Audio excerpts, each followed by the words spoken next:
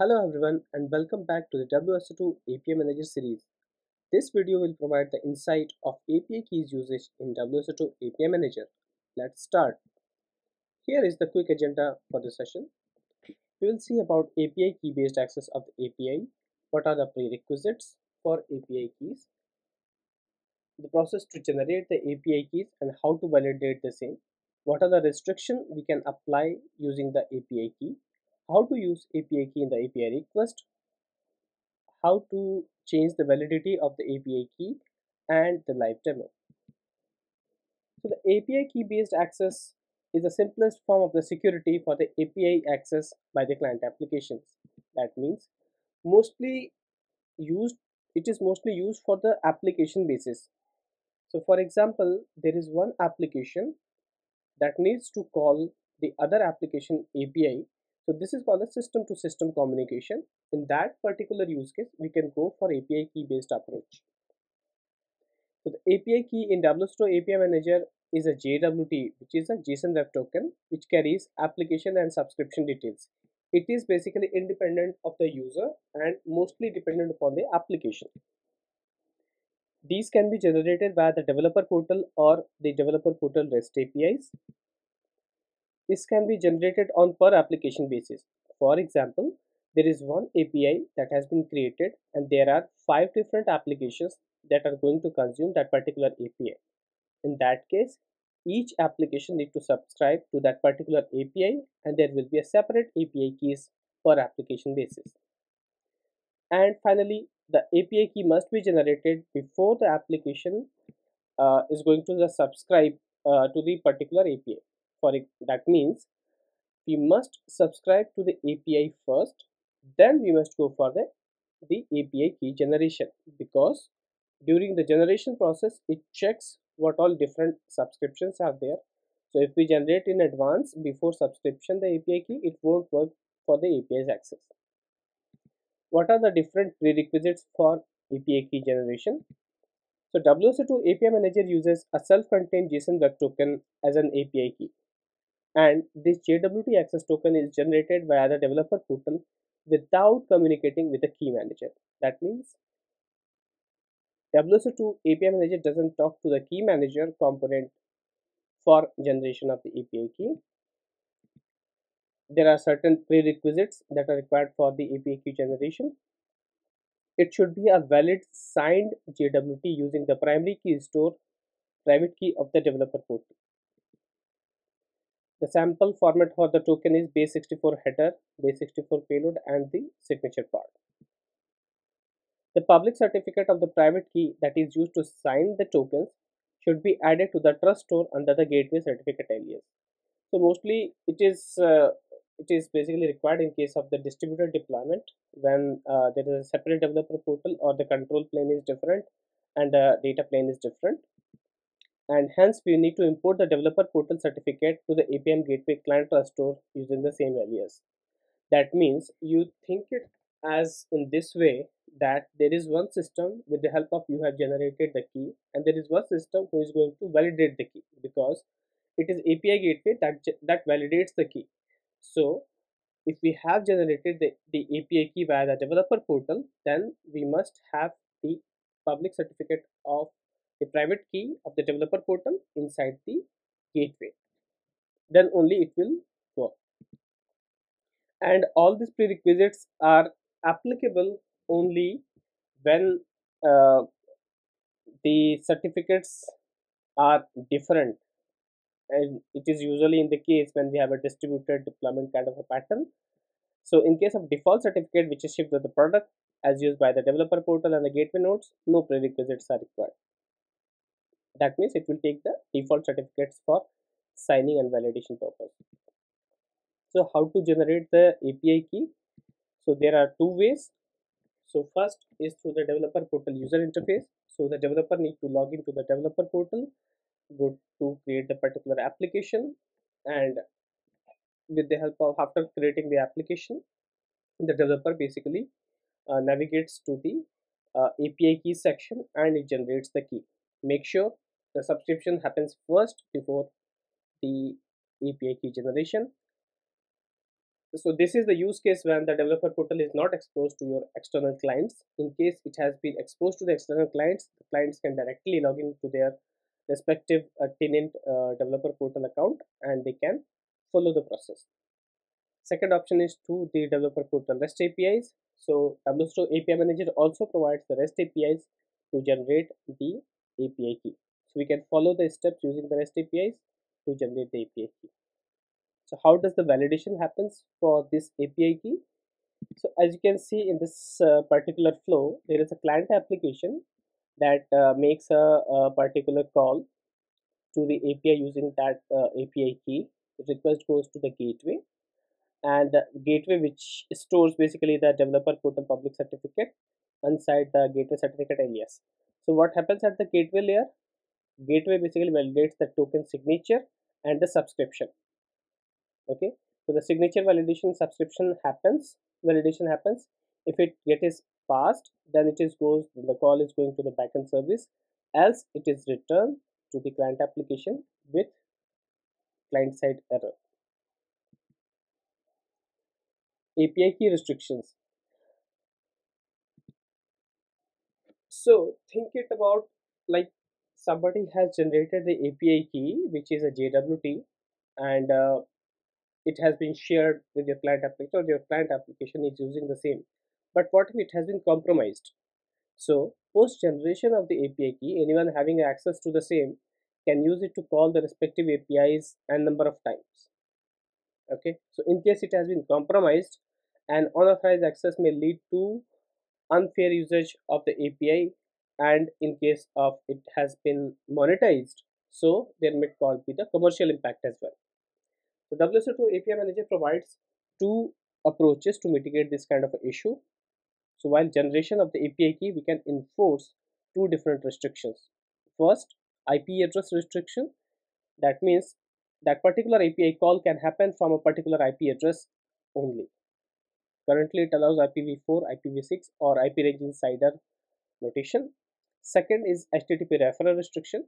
When HTTP referral restriction is enabled, that means it basically validates the source of the API hit. So we can define a particular URL or we can define a particular subdomain with a wildcard as well or any subdomain or the path URL in a single domain using the wildcard strings. So now how to use this API key in an API request?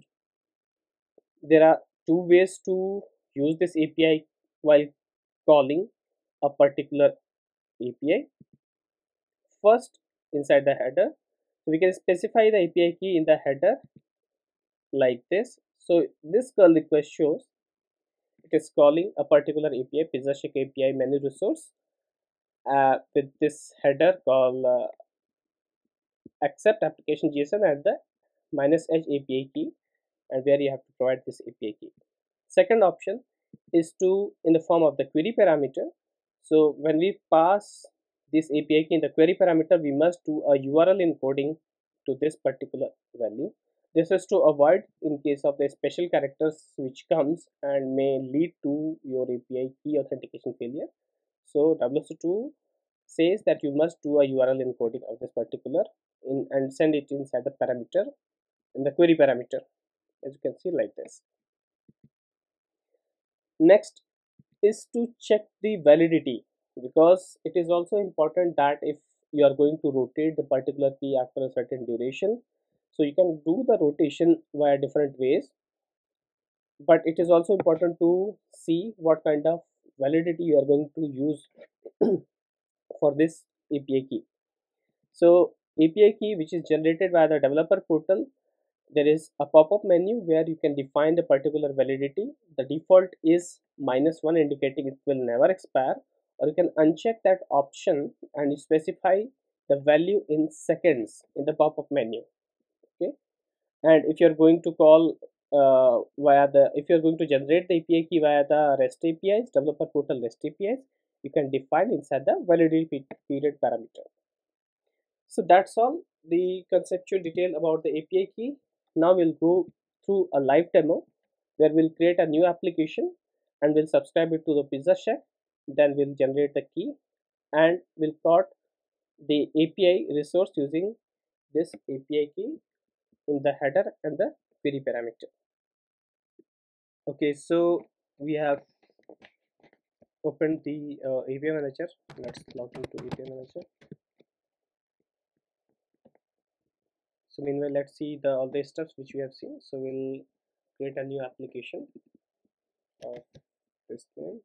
So we'll go to the developer portal so this is our publisher portal and I will use the PizzaShake API so open in the developer portal okay so let's go to application create a new application. Uh, we'll define the per token quota is 10 per minute. And this API key based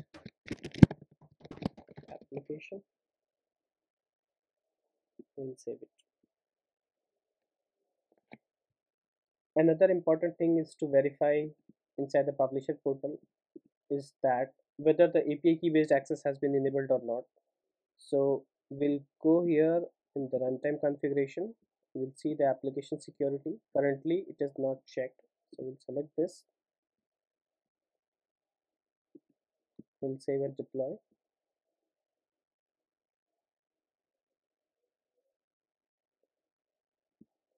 So we have to delete one older revision API key enabled select the gateway.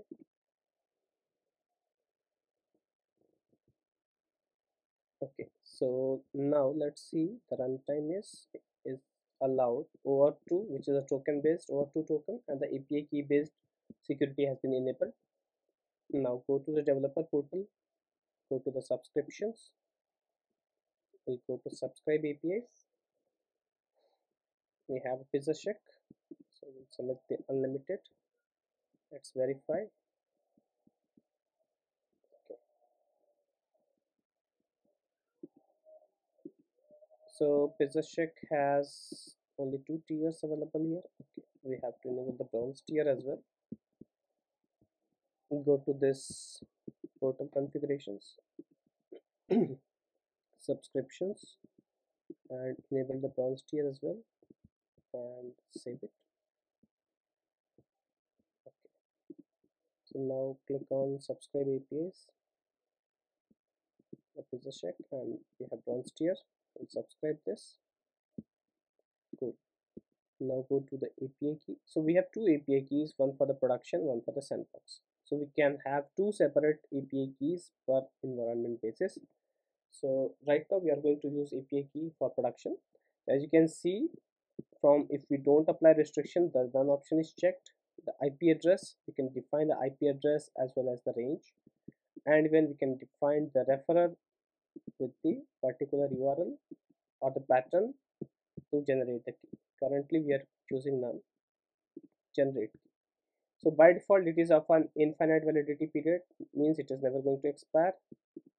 If we check this let's say I'm going to generate the key for one hour. Generate we copy this key okay. And once we have copied this key we have we must store into somewhere.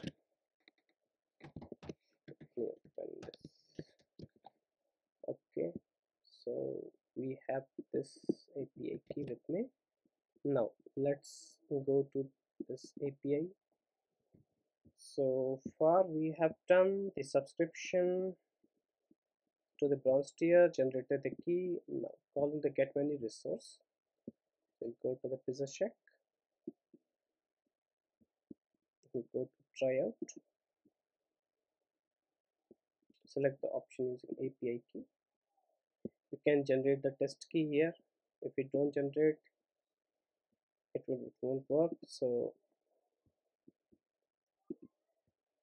for the time being we'll use the system generated API key for calling it. We'll copy the request. Go to a notepad paste the request. Copy our API key. So in this scenario you can see the API key is being passed into the headers. Copy the request. And should go to the terminal. A new tab so we'll just paste this curl request. And hit it cool so we are able to access it. The second option is to call the API using the API key by passing into the query parameter. Okay. So what is the approach for this? So for this what we have to do uh, url encoding. Url encoder so we have to make this api key url encoded we can if it is getting done programmatically this can also be done through some of the libraries in the java code you can use. So this is our your encoded API key. That's a request we are going to use okay paste it here. Remove it from here and we'll do like this. API key is equal to the URL encoded API key. Copy the request go to the terminal. Head the request using the approach cool. So this completes our demo. Where we have successfully hit the request using the API key in the header as well as the query parameter. So that's all for this uh, particular demo.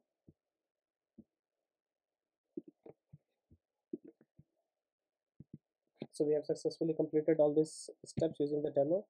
So thank you very much for this session and uh, do not forget to subscribe to my channel to get the latest updates and the latest tutorials on WSO2